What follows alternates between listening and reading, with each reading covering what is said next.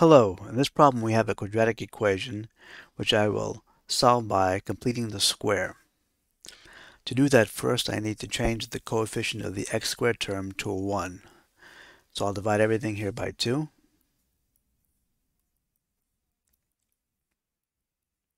And this becomes x squared plus 7 half x minus 2 is equal to 0. Then I move the 2 to the other side.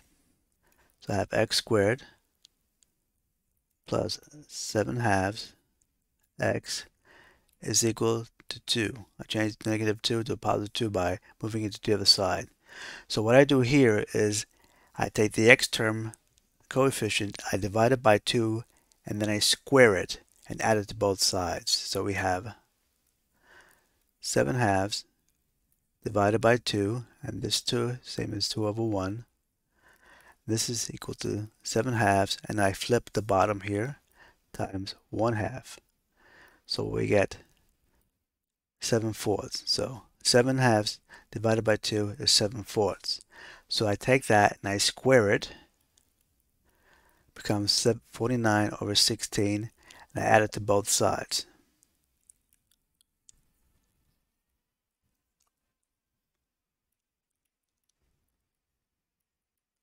So these two are equivalent. What we want is a perfect square, so we have x plus a squared. And the 7 fourths is the a. So we have x plus 7 fourths squared is equal to 2 plus 49 over 16. So 2 plus 49 over 16.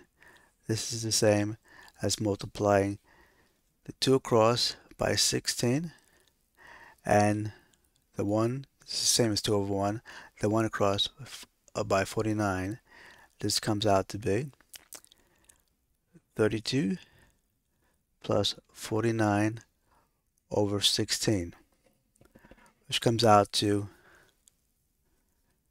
81 over 16. So we have 81 over 16. So now, to, to isolate the x, first we uh, take the square root of both sides. This is x plus 7 fourths is equal to plus or minus square root of 81 over 16 bring it up here. x is equal to, moving the 7 fourths to the other side, negative 7 fourths plus and minus the square root of 81 over 16, which is 9 over 4. So we have x is equal to minus 7 plus 9 over 4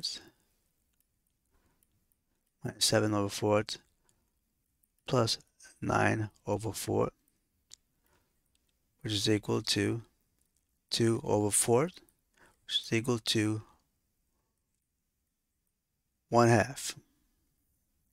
And we have x is equal to negative 7 fourths minus 9 fourths is equal to negative 16 over 4, which is equal to negative 4. So we have x is equal to 1 half and x is equal to negative 4. So this is the solution. Thank you for listening. Please like and subscribe.